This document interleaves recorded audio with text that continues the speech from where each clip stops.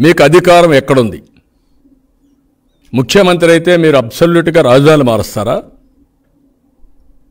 ప్రజల తలరాతల్ని మార్చేస్తారా మీ ఇష్ట ప్రకారం? ప్రజల్ని అయోమయంలో పడేస్తారా? మామూలుగా వాళ్ళ పనులు చేసుకునే వ్యక్తులను రోడ్డు మీద తీసుకొస్తారా మీరు? అభద్రతాభావంతో ఈరోజు ఇరవై తొమ్మిది గ్రామాలు పది రోజుల నుంచి నిద్రాహారాలు మాని జీవన్మరణ సమస్యగా. మాది ఏమవుతుంది మా భవిష్యత్ ఏంటని భూమిచ్చిన రైతులు ఆదర్శంగా ప్రభుత్వానికి భూమిచ్చిన రైతాంగం బయటొచ్చి ఈ మాదిరిగా ఆందోళన చేస్తూ ఉంటే అన్ని రాజకీయ పార్టీలు చెప్తే ఆ మాత్రం మీకు అర్థం కాలేదా? ఏ భాషలో చెప్పాలి మీకు? ఈరోజు రాష్ట్రంలో ఉండే అన్ని అసోసియేషన్స్ కూడా పనిగట్టుకొని రోడ్డు మీదకి వచ్చే పరిస్థితి తీసుకొస్తారా మీరు?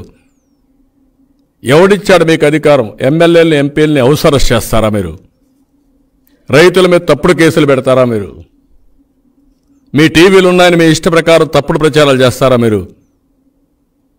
ముందుగానే వాళ్ళు బాధల్లో ఉంటే అలాంటి బాధల్లో ఉండే వ్యక్తుల్ని రెచ్చగొట్టే విధంగా ముందే దెబ్బ తగిలి గాయం అయితే గాయం పైన కారం జల్లి పైశాచిక ఆనందాన్ని పొందుతారా మీరు?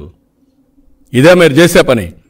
ఎప్పుడు ఇంట్లో నుంచి బయట రాని మహిళలు ఆ ప్రాంతం మొత్తం ఎక్కడ చూసినా ఆందోళన బాధ ఆవేశం ఆక్రోషం ఎట్లా బతకాలని అర్థం చేసుకునే పరిస్థితి ఉంటే ఈరోజు ముఖ్యమంత్రి సిగ్గుపడాలి.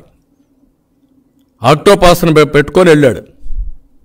ఆయన ముందుగా ట్రయల్స్ పంపించాడు రెండు వెహికల్స్ పోతాయా అని. ఒక ముఖ్యమంత్రి ఈ పరిస్థితికి వచ్చిన తర్వాత నీ ప్రాణానికి నీ భద్రతకే ముప్పు వచ్చిందనే విధంగా నువ్వు ఆలోచించినప్పుడు ఈ రాష్ట్రంలో ఏం జరుగుతుందని అడుగుతున్నా.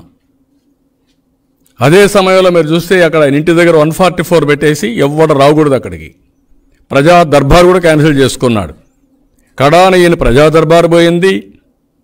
వన్ ఫార్టీ ఫోర్ సెక్షన్ పెట్టాడు. ఇంటింటికి నోటీసులు ఇచ్చారు. కడాన మా ఎమ్మెల్యేని మా ఎక్స్ఎమ్మెల్యేని ఎంపీల్ని ఎక్కడికక్కడ హౌస్ అరెస్ట్ చేస్తారా మీరు? ఆల్ రాజకీయ పార్టీల్ని. ఇది అప్రకటిత ప్రజా ఎమర్జెన్సీ కాకపోతే ఏమవుతుందని అడుగుతున్నాను. ఒక పద్ధతి ఉంటుంది రాజకీయాల్లో. ఇష్టానుసారంగా చేయడం కాదు. ప్రజలు తిరుగుబాటు చేస్తే మీరు పారిపోవడం ఖాయం. ఆ విషయం మీరు గుర్తుపెట్టుకోవాలి.